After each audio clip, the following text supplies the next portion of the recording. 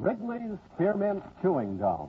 The refreshing, delicious treat that gives you chewing enjoyment presents for your listening enjoyment John Lund as Johnny Dollar. Ben Gordon, Johnny. Got a strange one for you. Well, who's the deceased and where did it happen? Well, his name's Luis Alvarado, a $50,000 life policy. He's a bachelor. His brother Jose is the beneficiary. And the two of them own a ra- racetrack in San Juan, Puerto Rico. Well, uh, outside of the fact that not too many people own racetracks, what's so strange about it? Well, an exercise boy found him under the tote board in the infield at 6 this morning. He had a 38 caliber bullet hole in his chest and a winning ticket and a long shot in his hand. Well, Johnny? Well, I guess there's nothing stranger than a winning ticket on a long shot at that.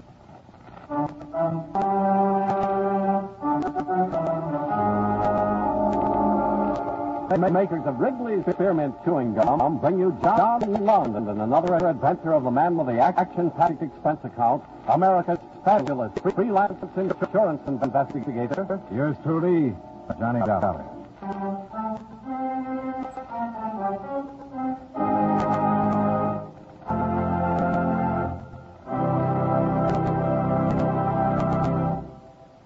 Friends, the makers of Wrigley's Spearmint Gum present these week the adventures of Johnny Dollar because they know that millions of you enjoy Johnny Dollar.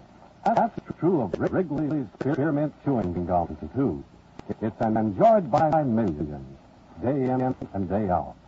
People find that the chewing on a smooth, delicious piece of Wrigley's Spearmint Gum somehow makes time pass more pleasantly. Whether you're working, driving, shopping, or just taking things easy, that, that good, tasty chewing gives you enjoyment and satisfaction. So always keep a package of Wrigley's Spearmint Chewing Gum handy. And whenever you want a refreshing, delicious treat, chew a stick. You'll like it. You really will.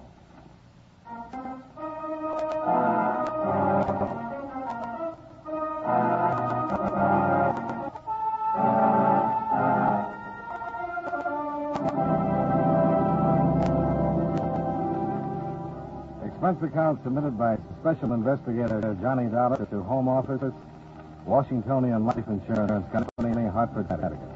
The following is an accounting of expenditures during my investigation of the temperamental tote board matter.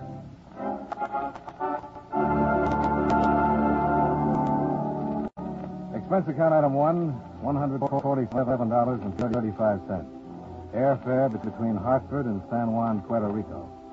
I checked in at the Caribe Hilton and then made my way to police headquarters where I introduced myself to Piano Cardenas, captain of the police. It is perhaps unfortunate you did not check with us by telephone before coming down, Senor Dollar. You might have saved yourself the trip. Oh, why is that, Captain? It is our belief that the insurance of the Senor Luis Alvarado has no bearing whatsoever upon his murder. Well, what does have a... Perhaps you have heard of Anthony Randolph. Randolph? That, that's the same Tony Randolph who's connected with the Miami gambling syndicate? It is. It is here now in San Juan. And for, for several weeks, it has been attempting to persuade the Alvarado brothers to sell him an interest in the track. How, how's he making that out?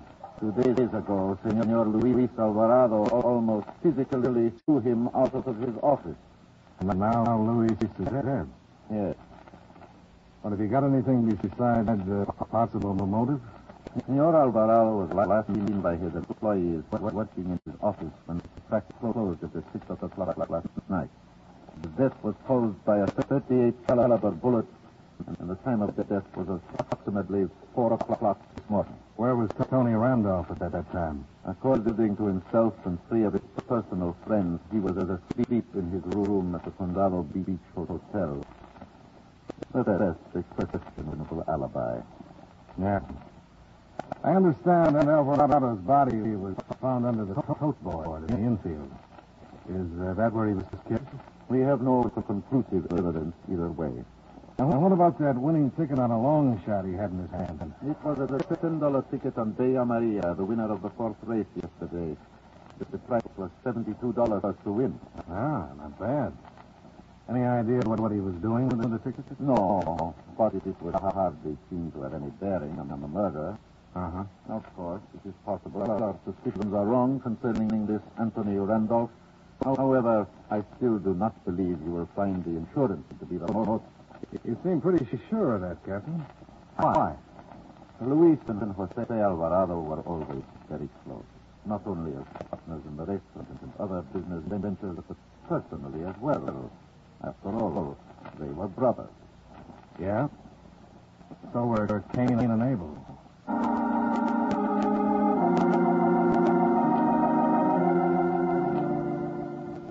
Expense account item two, two dollars and. Cab fare out to the, the Descanso racetrack. I got there between the fifth and sixth races, made my way to the, the west wing of the clubhouse, where the Alvarado brothers had their private. Buenas. Oh, hello. Is uh, Senor Alvarado in? Oh, I regret, senor, but he is not. I am Maria Roldan, his confidential secretary. Would there be anything I could do for you? Uh, when will he be back, uh, Miss uh, Roldan? Not for several hours, senor Dollar. Sounds like you were expecting me. But of course. Jose had word were arriving. Oh, how terribly unfortunate. His, his absence makes it necessary for me to work here this afternoon. Oh, but why is that? Well, part of my duties consists of acting as hostess when we have a special guest. Jose seems to think I make a rather pleasant impression upon them. Yeah, I can see why. Too bad we'll have to postpone it. But that's not that any longer than 8 o'clock this evening. At Avenida Piedra, number 49. That- That's an easy number to remember.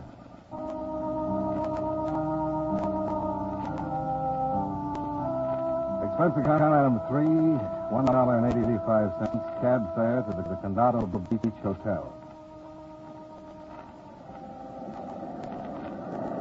I found Tony Randolph on a private patio overlooking the beach. He came completely equipped with, with swim trunks, dark glasses, and three close-mouthed bodyguards hovering obtrusively in the background. Sure, I'll be glad to tell you what I can, Mr. Dollar, but uh, don't, figure why you came to see me. Well, you were trying to buy an interest in the Descanso racetrack track from the Alvarados. Yeah, that's right. I came down here on a little bit of vacation, saw the plant. It looked pretty good, so I figured I might invest a few bucks in it. How you making out? Well, you know how these things are. It takes a bit of time. The boys have been playing hard to get, trying to raise the price. But we're getting on okay. A little fuss with Luis Alvarado at the office the other day. What fuss? We were just clowning around, that's all. Just clowning around. Uh-huh. I don't suppose you'd have any idea who killed him. Me? How could I know anything like that? I just met the guy when I came down here. All I know is he seemed a nice guy, had a nice plant here, and I wanted to go in with him. How would I have any idea who'd want to kill him? Just thought I'd ask. Well, that's okay, Mr. Darling. You got a 50 grand insurance investment. Before you pay off, you want to make sure everything's on the up and up. Don't blame you one bit. And uh, tell me, tell you what I'll do for you. Yeah? What's that? I got a few connections. Some uh, friends owe me a couple of favors, you know? Yeah, I know. Oh, sometimes we get to talking about things like that. Shooting the breeze, nothing better to do. If I hear anything, I'll let you know. All right. That'll be just great.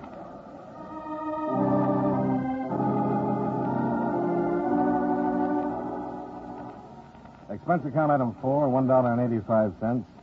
Cab fare back to the Descanso racetrack. After that rather fruitless interview with Tony Randolph, I was hoping that Jose Alvarado would be back and I might have better luck with him. But as I approached Alvarado's office, Captain Cardenas came hurrying out. Oh, Senor Dollar, you are just in time. Yeah, for what? My office just called. There has been a shooting at the home of Jose Alvarado. And the report was phoned in to my office by his son, Tomas. What did he have to say? He was rather agitated and did not talk long enough to give details. He merely reported that there had been a shooting and requested that an ambulance be sent to the house immediately.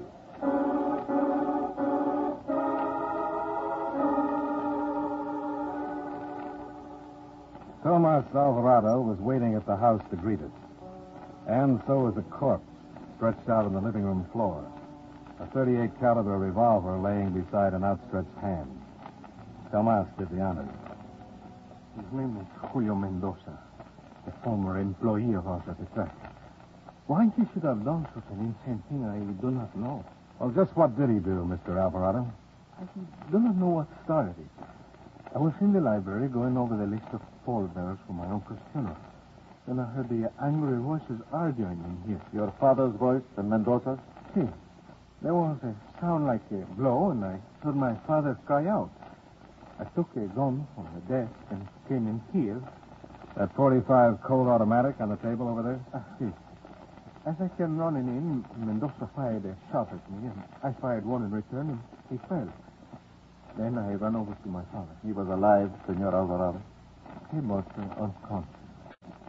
He has a bad heart.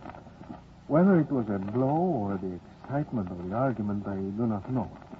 I put in the call for an ambulance and I took my father to the hospital.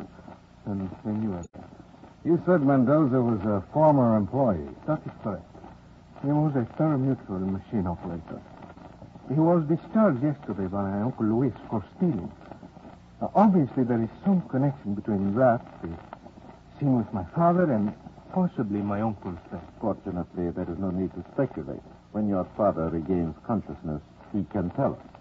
Might not hurt to speculate about one thing, Captain. What is that, Senor Dollar? That bit of pasteboard under Mendoza's arm. Looks like a pari-mutuel ticket to me. It is, senor. A ten dollar win ticket in the fourth race yesterday. Number 214, Bella Maria.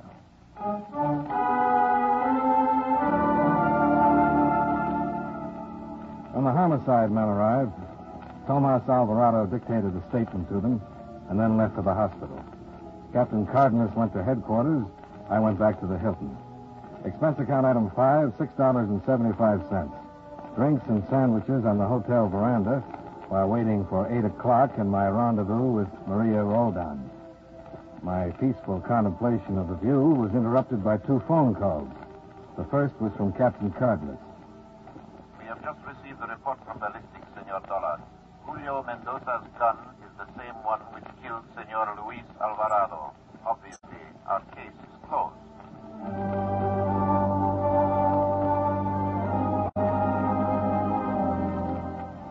second call was from Tony Randolph. That took a little longer. Say, Dollar, I hear you got a guy named Mendoza pigeonholed for the Alvarado murder. Where did you hear that, Randolph? I told you I had connections. Yeah, so you did. Well, the word around town is you got the wrong cookie. Very interesting. What else does the word have to say? Nothing much. Only that somebody has figured out a way of beating the races. Maybe if you find out who it is and how it's done, you'll have your man. You have any suggestions? Yeah, one. Ask her the Alvarado.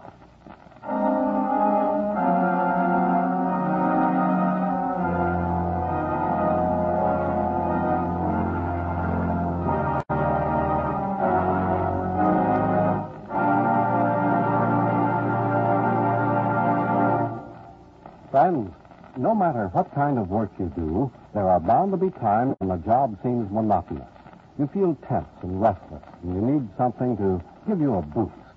Well, you'll be surprised how helpful a stick of Wrigley's Spearmint chewing gum can be at times like that.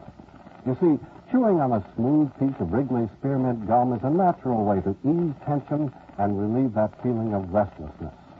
The easy chewing gives you satisfaction. You get a nice little lift out of it. And Wrigley's Spearmint gum tastes good, too. Its flavor is lively, refreshing spearmint, a flavor millions enjoy. Try it and see for yourself. Get a few packages of Wrigley's Spearmint chewing gum and chew a stick from time to time while you work. Chewing this delicious gum will make your job seem easier and pleasanter. It really will.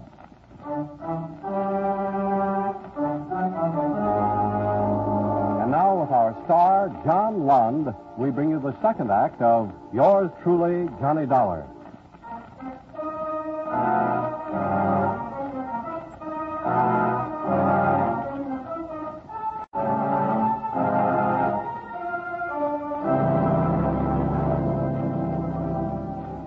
Expense account item six, one dollar and seventy-five cents. Cab fare to Avenida Piedras number forty-nine, a swank, ultra-modern apartment building in the newer Santurce section. It spelled money. And so did the lush evening gown Maria was wearing as she greeted me. How nice of you to be so prompt, Johnny. You're even a bit early. Well, I was hoping you wouldn't mind. Oh, how could I mind? As you see, I'm already dressed. And when a woman is dressed and ready when her escort arrives, it usually indicates it's rather important to her. Yeah. What I'm trying to figure out is uh, why. you should know you're Americaners. You're always looking for a reason, motivation. Is it not enough that a woman finds you attractive and wishes to spend some time in your company? Well, I suppose it could be. But it is not. In this case, no. I was afraid this evening would not turn out as pleasantly as I'd hoped. I'm sorry. There's no need to be. After all, you're down here on business. I can understand. I will answer your questions as best I can. Thanks. Well, suppose we start with Luis Alvarado's murder and those Bella Maria win tickets. Johnny, are you familiar with the operation of a pari-mutuel track? As familiar as I want to be. Well, then you know it operates like a complicated adding machine. As each ticket is punched out and sold, the totals appear on the illuminated board in the infield. At the end of each race, the amount of money that has been bet is paid out on the winning horses. It is a foolproof system, entirely automatic. Neither more nor less money than has been bet can be paid out. Well, you've spelled it out pretty clearly. Now, uh, why? Johnny, $21,000 was bet on the fourth race yesterday. As of 6 o'clock this afternoon, more than 26000 have been paid out on winning tickets. Over 5000 more than had been bet. See, You sure about that? I saw the head bookkeeper's figures on it at closing time.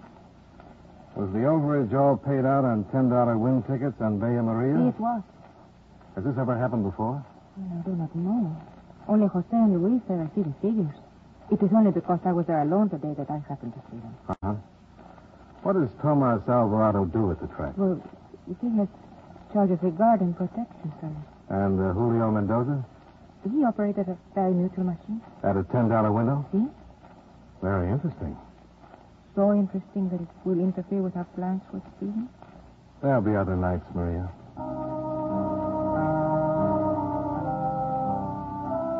Expense account item seven, two dollars and forty cents. Cab fare to police headquarters. Captain Cardenas didn't seem to be too impressed with my latest information. No, Senor Dollar, I do not believe it is possible. I can think of no way in which the Pari Mutuel system can be fixed. Well, the extra five thousand paid out on Bella Maria must mean something. We have only the word of Senorita Roldan that such a sum was paid out. Well, the bookkeeper could verify it. I will check on it, of course, Senor Dollar. But this much I can tell you now. It is mechanically impossible to fix the tote board or to punch out any tickets after the race begins. What about forgery? Well, that, too, would be virtually impossible. Each ticket has an especial picture code printed upon it, and the codes are changed with every race. That sounds pretty foolproof, doesn't it? Believe me, it is, Senor Dollar. And even if it were not, what possible connection could all this have with the murder of Luis Alvarado? I wish you hadn't asked that, Captain. It's been bothering me, too. I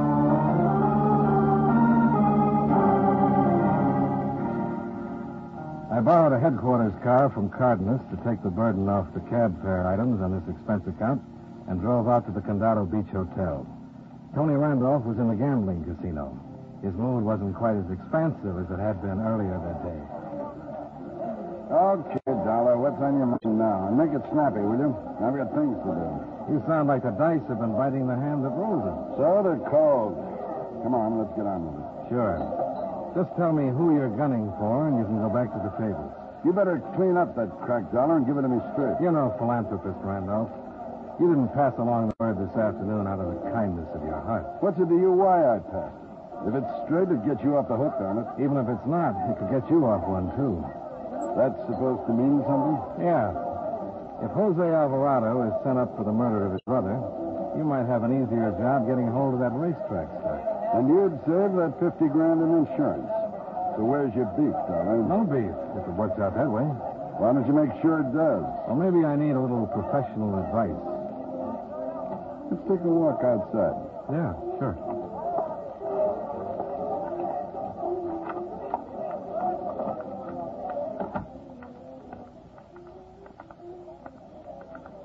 Okay, Dollar. What's that? Well, it could be like this. Somebody figures a way to beat the mutuals. Luis Alvarado tumbles to it, so he's kept quiet with a 38 caliber slug. That could make sense. Only they tell me the mutuals can't be beat. They could be wrong. How wrong? There's no law against cashing winning tickets a day or two after the race, Well, you'd have to get the tickets first. or print them yourself. What's it take to do that?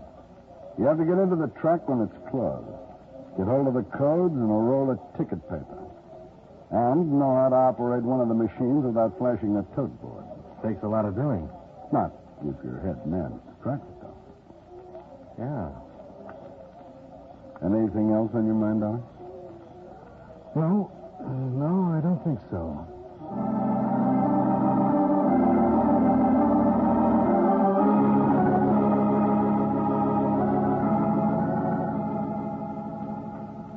I do not know, Senor Dollar. It is still a theory without proof. Well, the bookkeeper should be able to supply us with some. No, I'm afraid not. Oh? Why? He was called away from the track after the seventh race. Some family business. He died in a traffic accident on the way. You're sure it was an accident? Oh, there is no question. Uh-huh. An unfortunate occurrence for us. Yeah, even tougher for him. Yes. Of course, we can always check the records at the track, and in that way... Your pardon. Sure, go ahead. Capitan Cardenas. See?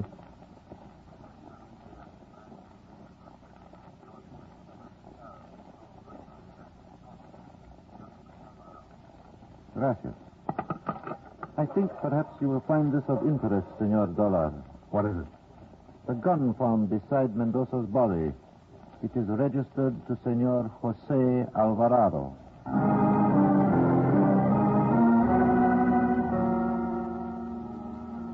Before leaving the office with Captain Cardenas, I found time for one short telephone call.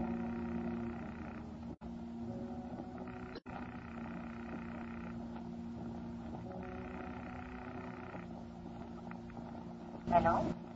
I think I'll be able to drop around in about an hour, Maria.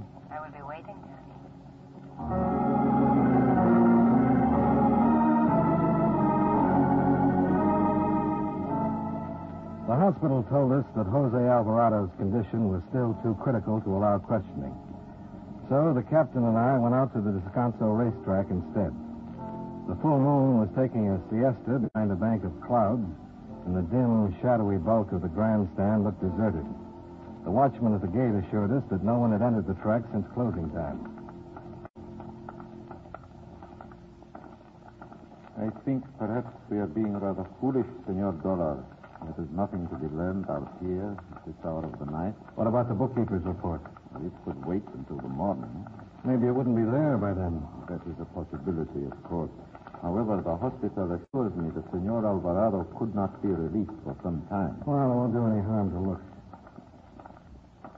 Wait, Senor. In there, behind that ticket case, the light. Yeah. What would anyone be doing in there? Operating one of the pari-mutuel machines. By hand. There is an entrance to the cages at this side. About here.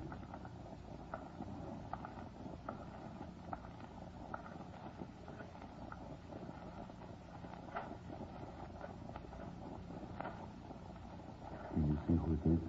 No.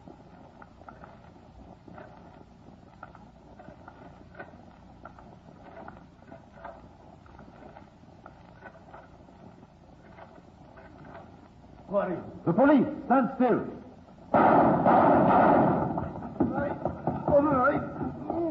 So, it was Tomas Alvarado. Call for an ambulance. I'm hurt. An ambulance. I don't want to die out here. I don't think your Uncle Luis wanted to either.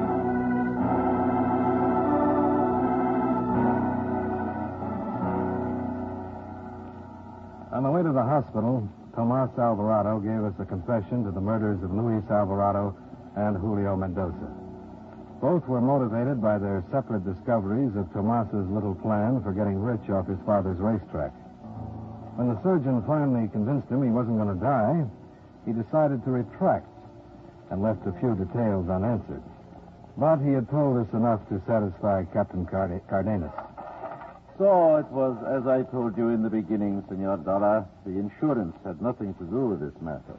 Yeah, but you've got to admit Jose Alvarado was involved. Apparently only to the extent of a blackmail attempt by Julio Mendoza.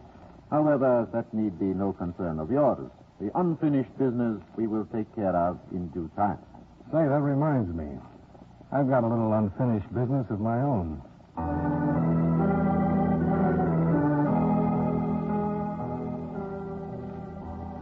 Maria was waiting for me as agreed.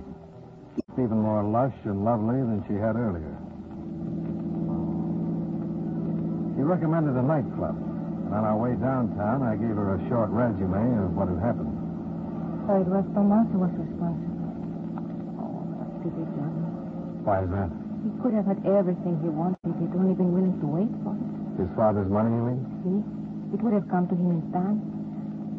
Do this, deliberately rob and murder because he wanted the money now. Oh, how do people do such things, Johnny? Well, who knows? Maybe somebody talks them into it. Maybe it's for some woman. Maybe both together. Hmm. I suppose that is true. Oh, well, then why should we concern ourselves about it now?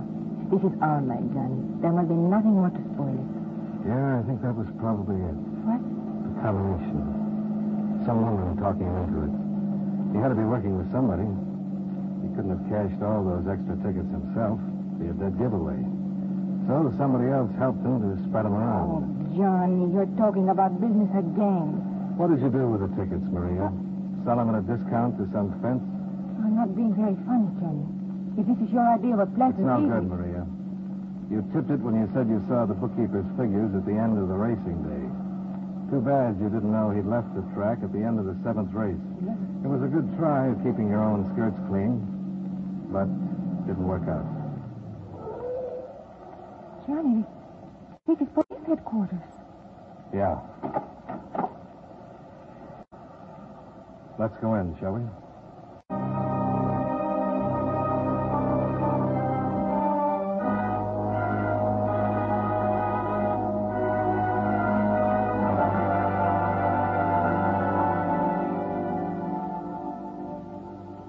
Expense account item 8, $38.15. Hotel bill and miscellaneous.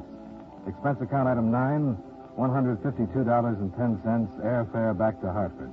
Expense account total, $354.95. Remarks? Jose Alvarado was still too ill the next day to have any visitors, so I left Puerto Rico without seeing him. Perhaps it's just as well. How can you give a man $50,000 with one hand and take away his son with the other?